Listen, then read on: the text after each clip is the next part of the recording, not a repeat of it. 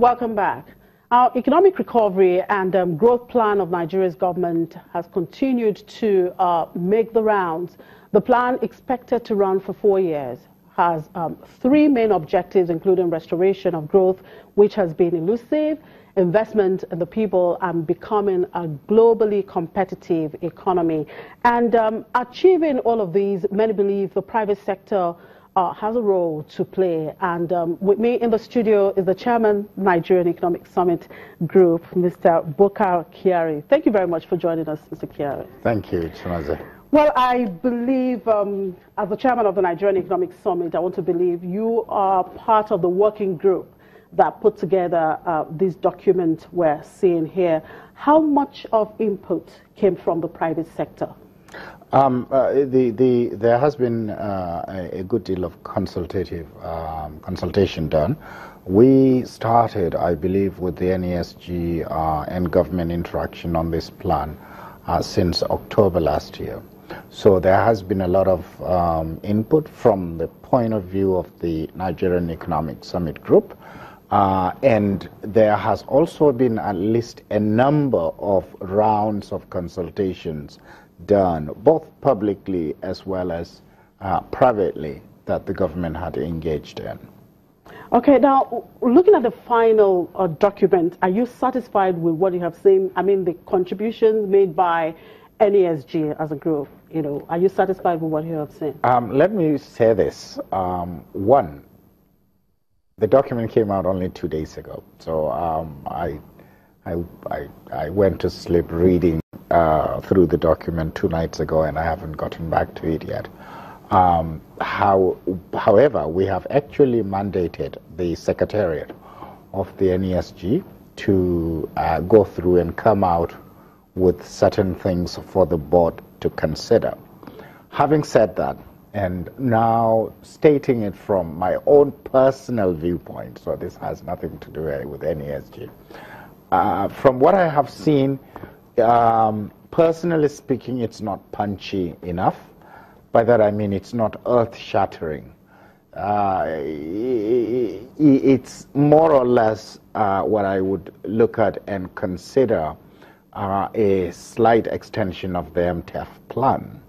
Uh, there are some key differences that I see that would make it exciting from the point of view of the private sector. I think among the 12 or so uh, either principles or key or key priorities, um, number, number two was private sector to drive the economic growth and development of the country.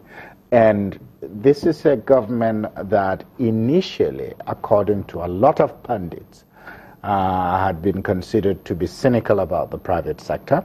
And for it to actually embrace the private sector, it means that we are seeing a reality uh, hitting uh, the administration. The second thing is that there are some key things. Um, it talked about macroeconomic stability. Uh, if you are considering macroeconomic stability, then you have to have an alignment between your uh, fiscal, monetary, and trade policies. We do not have that today. Uh, eh, eh, obviously, uh, you know, some of us have been calling for it. Personally speaking, I've been calling for flotation of the currency. And these are some of the things that need to be done urgently so that foreign uh, investments need to flow in, or rather, uh, flow can happen both ways. Even exports, where people's export proceeds do not disappear, they would rather be happily be repatriated back into the economy. So all of those are things that are uh, silently addressed in the uh, in the document, or uh, maybe because I haven't gone farther into uh, uh, the document itself.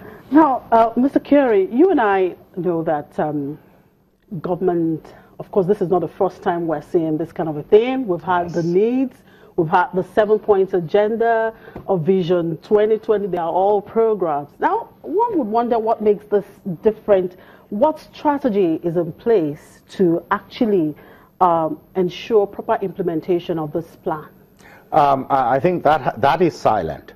uh, there is no uh, what you might call um, implementation or the execution and the monitoring of the execution, meaning that uh, we should set ourselves some KPIs and some times, uh, timelines, uh, meaning here in three months from now, we have to do a check. Six months from now, we have to do a check. Nine months from now, we have to do a check. So those check marks and what are expected and what kind of outcomes are expected from not just the economy, but from all the segments of the economy that have been highlighted in the document need to be uh, clearly spelt out now so that we all can hold our government responsible in the execution of the plan document that has been released. I, I, think that is lacking at the moment. Now, what is the role, what role would uh, NESG as a group play in ensuring this implementation? We, we have engaged uh, the presidency and also the National Assembly in many aspects of the key things that happen.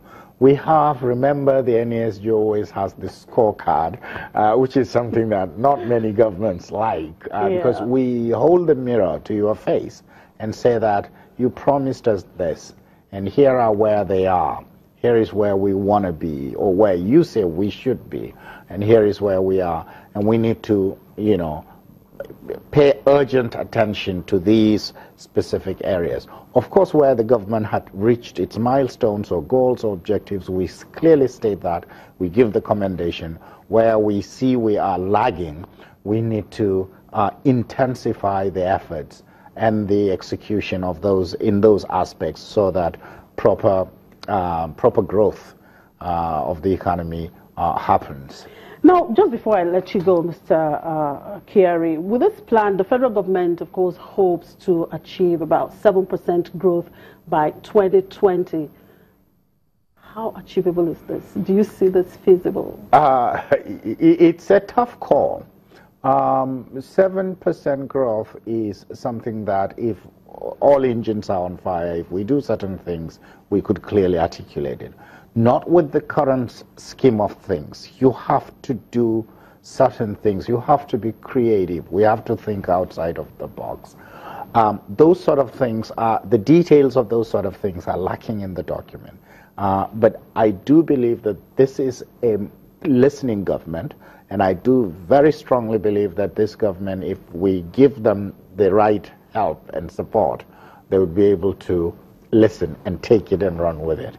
All right, thank you very much um, for your time. It's good having you in the studio. Thank you very much.